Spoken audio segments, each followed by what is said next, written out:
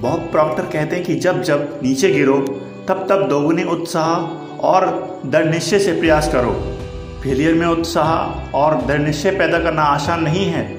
ऐसा करने के लिए मेंटल स्ट्रेंथ लगती है, लेकिन यही है सफलता की कीमत, जो आपको हर बार चुकानी होगी।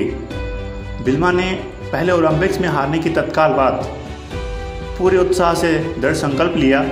जब आप ऐसा करते हो, तब सबकॉन्शियस को स्पष्ट संदेश जाता है गोल के अलावा कोई डाउट और फेलियर अस्तित्व नहीं रखता। और जब एक बार ये संदेश पहुँच जाता है, तब सबकॉन्शियस गोल को स्वीकार कर लेता है और गोल सच होकर ही रहता है। नंबर दो, अपनी कमजोरियों पर यकीन करना बंद करो।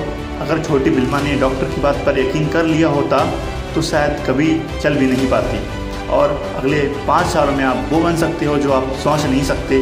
कभी भी अपने दिमाग में मत आने दो कि मैं नहीं कर सकता। पाँच साल बाद आप खुद सोच कर हंसोगे कि अरे वो छोटी सी आदत मुझे परेशान कर रही थी।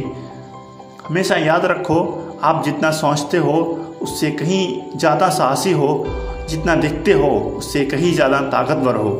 आप जितना जानते हो, उससे कहीं ज़्यादा समझदार हो। नंबर तीन डिसिप्लिन आता है। शरीर और नर्वस सिस्टम की कमांड देने की और फिर उस कमांड को पालन करने की जो शक्ति है, उसे डिसिप्लिन कहते हैं।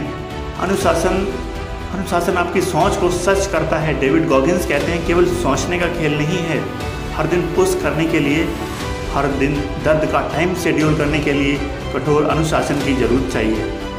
बिल्मा रोडोल्फ के अंदर सारे गुण बेकार हो जाते अगर उनके पास डिसिप्लिन नहीं होता। इसलिए हर दिन कठिन काम करो, हर दिन शेड्यूल बनाओ और हर दिन विजुलाइज करो। जो आप सोचते हो, वो करते हो धीरे धीरे आप मज़बूत हो जाओगे और आपकी ज़िंदगी में डिसिप्लिन बढ़ जाएगा। Thank you so much for watching this video तब तक के लिए नमस्कार। जय हिंद, जय भारत। फिर मिलता हूँ आपसे एक नेक्स्ट वीडियो में। All the best